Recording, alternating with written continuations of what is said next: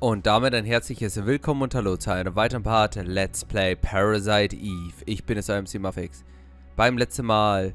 Ach, jetzt weiß ich auch endlich, was es ist. Ach, das ist die übliche Resident Evil Truhe, wo man seine Sachen äh, verschanzen kann. Beim letzten Mal waren wir mit unserer guten Aya Breyer hier auf... Oh, gut. Das war's nochmal gut. What's this key? Ah, Theaterkey. Okay. Sehr schön, dass ich hier nochmal rumgelaufen bin weil ich nochmal neu geladen habe und mir das Tutorial angeschaut habe. Beim letzten Mal sind wir hier in dem Theater gewesen und haben uns eine Vorstellung angeschaut. Doch, die Vorstellung war alles andere schön. So. Ha, okay, jetzt haben wir den Schlüssel für die Tür. Super. Ähm, äh, auf einmal ist die Hauptschauspielerin äh, hat äh, angefangen zu singen und, und sagt, das ganze Publikum hat angefangen in Flammen aufzugehen. So gut wie alle sind gestorben, außer wir. Und diese seltsame Dame scheint irgendeine Verbindung zu uns, haben, zu uns zu haben, auch wenn wir keine Ahnung haben, was das bedeutet. So, unser guter Aya Breyer muss jetzt hier herausfinden, was hier gespielt wird. Bullets. Oh, sehr schön. So sah die dann so im Schrank. Merrick, was? Kämpft der jetzt gegen mich? Alter Mann! Alter! Mörderpopokei. Der sah gerade so süß aus. Okay, unser erster Schaden. So, warte mal. Ähm... Choose Weapon. Okay, also ich kann jetzt auch hier zum Beispiel den Club machen. The Club, ja. Achso, ah, okay, dann. BAM! so spielen wir auf meine Art und Weise. Ich weiß nicht, ob es gut wäre, vielleicht ein bisschen Ressourcen hier zu sparen. So für den Anfang des Spieles. So, es ist ja Resident Evil mäßig, das heißt, wir müssen auch immer ein bisschen aufpassen, ähm, dass wir hier die richtigen Ressourcen finden. Und irgendwie haben wir jetzt im Endeffekt hier gar nichts gefunden, ne? was ich gar nicht glauben kann. Naja, zumindest, äh, wie gesagt, wir müssen jetzt äh, hier die Hauptschauspielerin äh, Melissa, weil ihr Name finden. Und die werte Dame scheint hier für diese abstrusen Sachen verantwortlich zu sein. Okay, gut, also mehr gibt es jetzt hier erstmal nicht. Aber die Frage ist, wenn wir jetzt hier den Schlüssel haben, können wir dann hier noch die anderen Räume aussperren, oder? Da waren wir drin. Da... Unlock the door. Genau, da waren wir noch nicht drin. Sehr schön. So, ich habe meinen hab mein Schlagstock. Ihr habt alle keine Chance. Oh, die Kamera, die ist schlimm, Mann. Hör auf mit den Spiegeln, Mann. Die Spiegel machen mir Angst, Mann. Okay, Ammo, yo. Sehr gut. Hier ist irgendwas, oder? Der ist Beeflein, oder? So, man muss sich echt exakt hinstellen, ne? Oder vor die Items. A Diary. November the 3rd, Monday. The Christmas show is set. This has been my dream. The main actress has uh, a solo concert at the theater in the Central Park.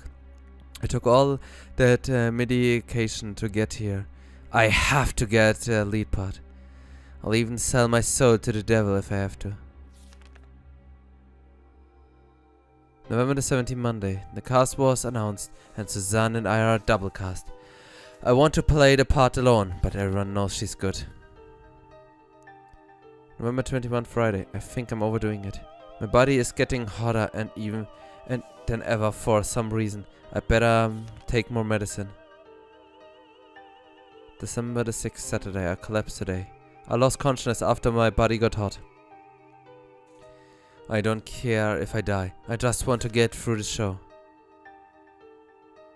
December the 10th, Wednesday. I passed out again. They told me to go to the doctor and to get some rest. If this continues, Suzanne will definitely take my part. I need to get better. I better take a lot of medication tonight. December 11th to Thursday. Suzanne was burned in an apartment fire. Is it because I wanted the part so bad? God forgive me. December 17, Wednesday. It looks like I'll be the lead. I better take more medication and work it. December 21st, Tuesday. Opening night. Everything went smoothly. Tomorrow is Christmas Eve. We should have the biggest crowd of the season. And I have the solo concert the next day at the park. But I'm afraid, but I'm not feeling well. I'd better shape up if I want to get through this. I better take more medication. For what? Why is she taking so much? She must have a drug problem. Another key? Rihusky. Das hätte ich drauf wetten können, dass da irgendwo ein Monster kommt. Ganz ernsthaft, hinter den Vorhängen ist nichts oder was? Das macht ja keinen Sinn. So, wir haben da hinten noch äh, Türen gehabt, die wir noch nicht aufgemacht haben. Wir suchen natürlich alles ab in der Hoffnung, dass wir coole Items finden. Ähm, oder eklige Ratten. Okay, jetzt mit meinem Klapp muss ich jetzt draufhauen. Okay, kommt her. Die! Okay, den kann man locker so ausweichen. Damn! Oh, super Miss. Ah, es war zu weit weg, oder? Ah, ihr seht. Das ist natürlich, wenn ich außerhalb, äh, die Gegner außerhalb dieser schönen Kreise sind, dann äh, komme ich natürlich nicht ran. Okay, Level 3. Gut, sehr schön. Monster-Mutantenratten. Also, ähm, Melissa ist natürlich hier die Hauptschauspielerin. Das ist die, die sich hier aber, ich denke mal, als Eve bezeichnet hat. Das ist das, was mich hier aktuell so wundert. Also irgend... Aber ich meine, sie hat es ja im Endeffekt gesagt. Sie hat ja der Seele an den Teufel verkauft. Und genau das wird sie wahrscheinlich auch getan haben. Okay, das sind jetzt hier die Backstage-Kulissen. Ignorieren wir, was hinter dieser lustigen Tür ist. Ah, Monster-Mutantenratten. Ladies and Gentlemen. Oh nein, Papagei auf Doom. Die!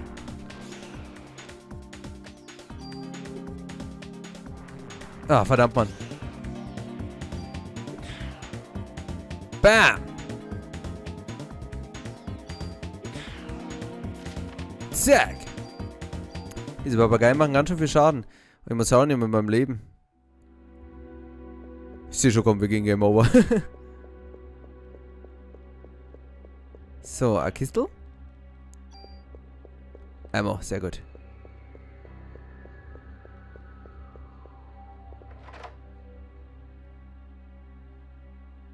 Oh oh. Ich glaube, ich bin schon weitergegangen. Ich wollte eigentlich gar nicht weiter. Oh nein. Kein Boss-Time. Kein Boss-Time. Kommt Boss-Time? Oh. Ich bin einfach nur hier gelandet. Okay. Gut. Weniger schlimm, als ich es erwartet habe. So, das ist unser toter Clown. Ist das eigentlich so eins dieser netten Spiele, dass wenn ich zu einem Speicherpunkt gehe, dass sich mein Leben auffüllt? Ja, liebe Leute, PS1-Generation. Kannst du mal schauen, wie du dein Leben auffüllst, Mann. So, okay. Eine Harfe. Und was ist in dem Schrank? Okay, den Schrank können wir nicht aufmachen. That's odd. This wall looks like it's about to crumble. Oh. So, hey, nicht auf den Hintern von der werten Dame schauen. Das kürze ich nicht. Das kürze ich aber echt ganz und gar nicht. Gut, Sonne, Mond und Sterne. Normal Armor. Ist die jetzt besser als meine aktuelle? Sehe ich das irgendwie? Also, äh, Change Weapon, Change Armor, oder? Protector, ja, 10 und das hat 12. Okay, liebe Leute. Ich sehe zwar nicht, dass sie eine kugelsichere Weste an, aber scheinbar hat sie das gut getan. Das ist ein gutes Kleid, Mann. Das ist ein sehr gutes Kleid. So. Also. Der Inventory ist voll. Äh, will you replace an item? No. Okay, warte, dann machen wir das doch ganz simpel. Ich habe eben Medizin voll. Äh. Heal. Ach, das ist mein super Barometer-Zeug da. Das setzt sich nicht ein, davor habe ich Angst. Äh, aber eine Medizin, denke ich, können wir nehmen, yo. 45 halt ist ja gut, machen wir. Gut. Was ist hier? Eine Medizin. ne, Offense plus. Okay, das ist äh, True. Dass ich da was ablegen kann in die Truhen. Okay. Verstehe ich jetzt ehrlich gesagt nicht so, für was das unbedingt gut sein soll, aber okay. Weil es, es sind ja nicht diese universellen Resident Evil Truhen, wo ich jetzt einfach hingehe und sage, so, ähm... Wie viel... Ich, wie viel Munition habe ich? Der Range? Ich will nur sehen, wie viel Munition ich habe. Da, hier wahrscheinlich im Item, oder? Ammo. Ah, 54. Ja gut, dann können wir ein bisschen rumballern. So, weiter geht's. Ich glaube, wir haben soweit alles. Dann gehen wir nur noch mal hier hin schon speichern. Äh, ich denke, Türen haben wir alle. Nein. Hm, da war ich doch schon drin. Entschuldigung, das war das, wo die brennende Leiche war. Nee, das war ihr Raum. Ähm, also im Endeffekt, diese Melissa hat im Endeffekt einen Deal mit dem Teufel gemacht scheinbar. Und dafür hat sie hier die Hauptrolle bekommen. Ihre Konkurrenten, die Susan, die wurde darauf flambiert. Und äh, ja, sie wurde zu einem Monster. Doch die Frage ist natürlich, was diese Beziehung zu ihr, also von dieser Eve, zu uns ist. Das ist das, was ich nicht verstehe. Scheinbar besitzen wir auch irgendeine Art dieser äh, übernatürlichen Kräfte. So. Ich habe übrigens, ähm, als ich jetzt hier zwischen den Parts war, habe ich jetzt einfach mal das Tutorial gemacht. Ich dachte, es wird großartig, dass man Kampfsystem eingeführt. Nö, nö, nur so ein paar Bildschirme, was, was dir anzeigt, wie es geht. Super gut, das habe ich aus äh, den zwei Videos, die ich vom Spiel gesehen habe, konnte ich das genauso sehen. Aber ich habe gelernt, dass man mit äh, Kreis laufen kann. Theoretisch. Knockt ihr da. Also. Okay. Es kann nur schlimmer werden.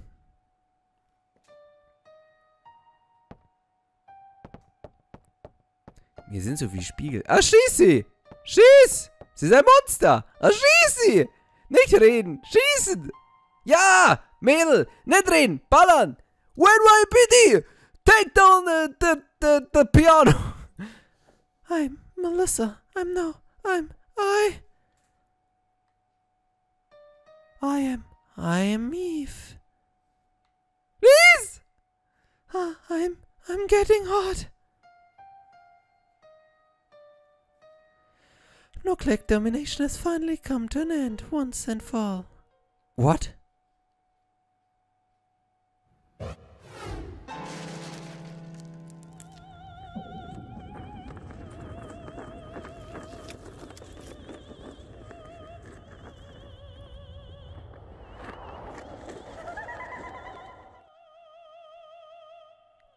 Wieso konntest du nicht einfach schießen? Wieso konntest du nicht einfach schießen? Once again. What the day for the Mitro Mitochondria to be free has finally arrived.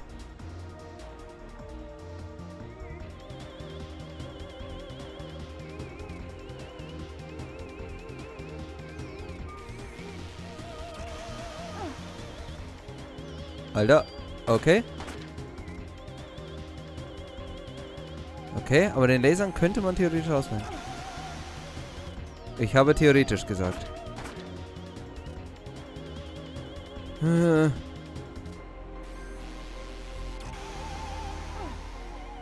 Oh. Ah, aber okay, nur einer hat mich getroffen. Sehr schön. Sehr gut. Die Schüsse machen ihr so hart viel Schaden.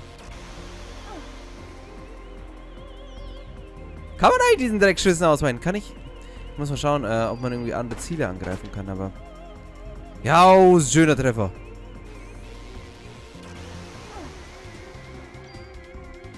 Okay, ähm... Jetzt ist... Wartet. Äh, wartet. Ich hab's gleich. Ich hab's gleich, liebe Leute. Das ist unser erster Bossfight, Mann. Oh, wartet nicht so viel bei mir. So. Dankeschön. Okay. 53 wieder. Sehr gut.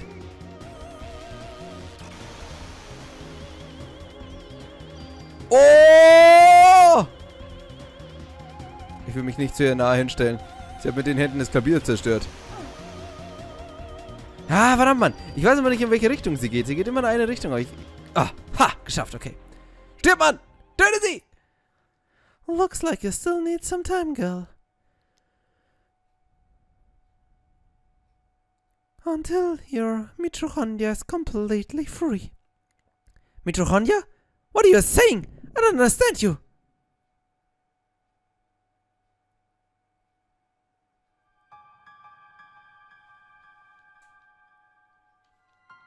What? Where is this? Is that... Is it the little girl I saw? No, it's... Das ist ganz sicher sie als kleines Kind. Also äh, von irgendeinem... Irgendwelche Experimente wurden wahrscheinlich mit ihr angestellt. Und ihr seht, das ist ein zweites Bett. Der Doktor. Wait.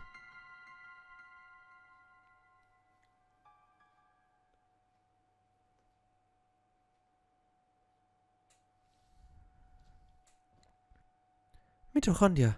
To be free.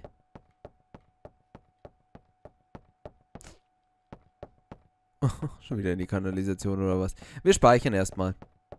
Jetzt erstmal nochmal ganz entspannt zurück. Setze mich auf meinen Platz und warte, bis die Show vorbei ist.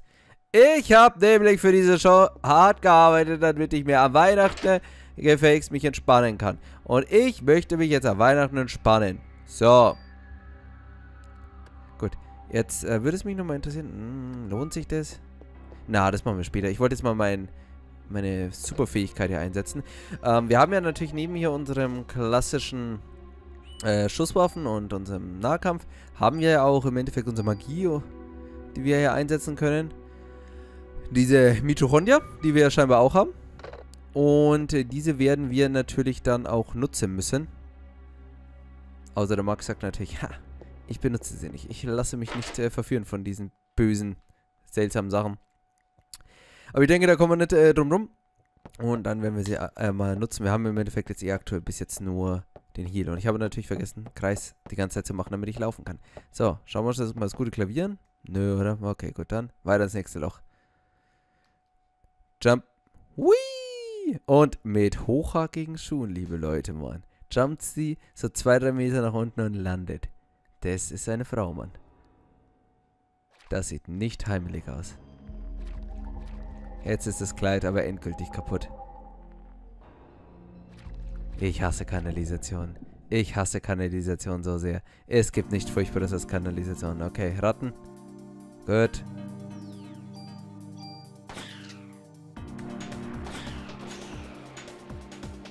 Sie muss halt einfach eine eiskalt nachladen. Oh oh. Oh, zum Glück sind diese ultra langsam. Ah, okay, ihr habt gesehen, ähm, die haben zwar jetzt getroffen, aber...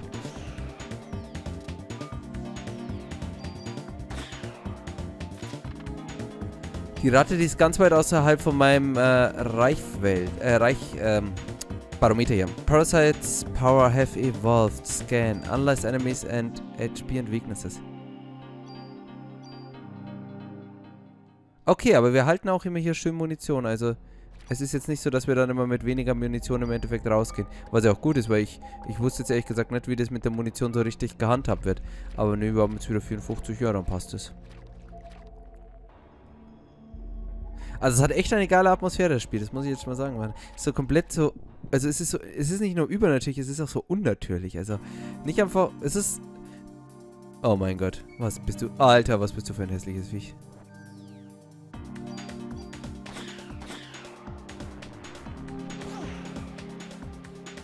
Aber. Machen wir erstmal die Ratten, alle. Und dann geht's zu dir.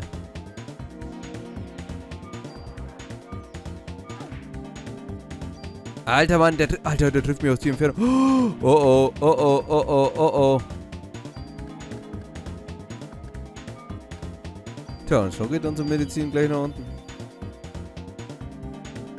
So, Mitochondrien Power. Hm, hält, halt aber nur 30.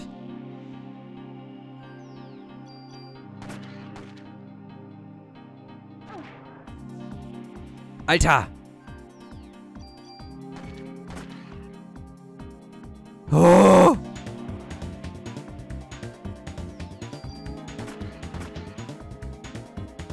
Okay, in der Luft, Mann. Der war cool, Mann. So. Oh, ist das Bossfight oder was, Mann? Geh weg, geh weg, geh weg. Sehr gut. Also wenn er alleine ist, ist er nicht schwer. Ha! Hui, hui, hui. Okay. Das sind keine Gegner, die ich mir im Nahkampf bezwingen muss, Mann. Und das ist jetzt das ist, der, das ist der zweite Gegner, den wir nee, der dritte Gegner, wenn wir den blöden Papagei mitzählen. Also. Also okay, wenn ich mein Mitochondrien äh, einfach einsetze außerhalb von Kämpfen, das äh, halt einfach ganz normal. Das ist gut äh, zu wissen und dann halt im Kampf muss es sich wahrscheinlich wieder auffüllen. So, eine neue Handgun, die wir weise hoffentlich nutzen.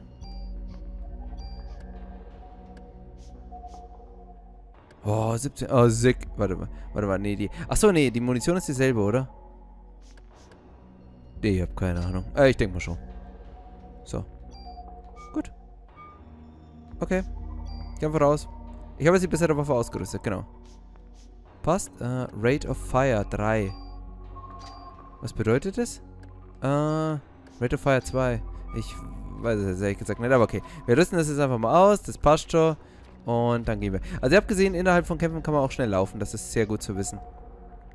Gehen wir jetzt erstmal hier lang.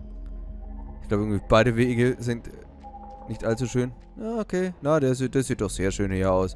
Genau da wollte ich schon immer hin. Sie, sieht doch aus wie zu Hause. Okay. Ah, man im Kreis. Im Kreis immer gelaufen. Geil. Und unten ist eine Kiste. Oh, die muss man uns eigentlich holen. Die da.